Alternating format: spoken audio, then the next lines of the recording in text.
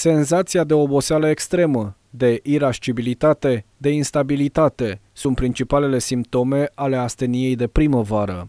După câteva luni de zile în care am stat mai mult în casă, organismul resimte ciudat schimbarea de mediu și temperatură, iar de aici survine și starea de slăbiciune.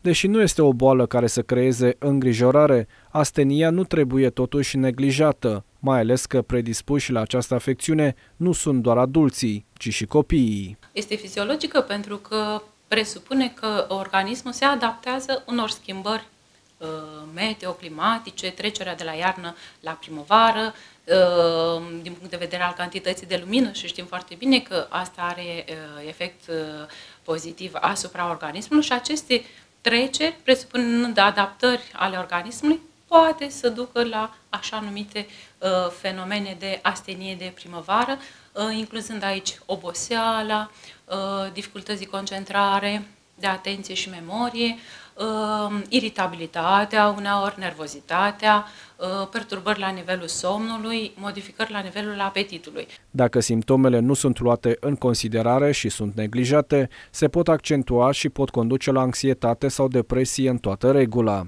Specialiștii ne asigură însă că afecțiunea poate fi combătută.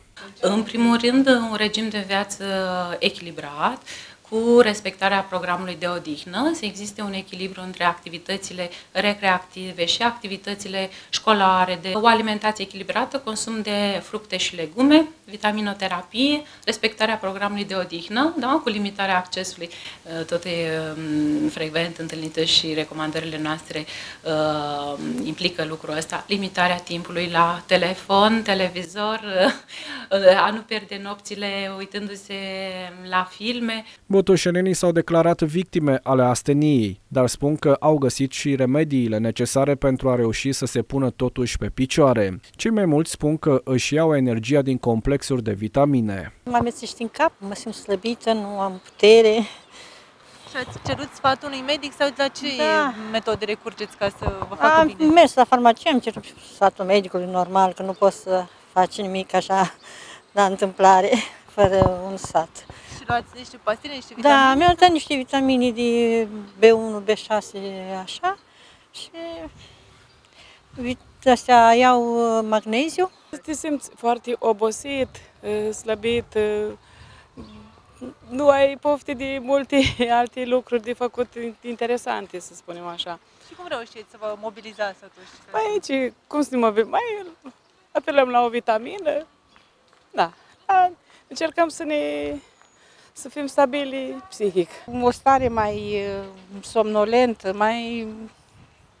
Na, nu-i putere, nu-i putere să te ridici, să ieși din casă măcar, nu aveți să mai faci altceva. Și totuși cum reușiți să vă e, mobilizați? N-am încotro.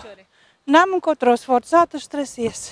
Pe lângă vitamine, odihnă și alimente sănătoase, specialiștii recomandă mișcare în aer liber și practicarea unor activități care vă fac bine.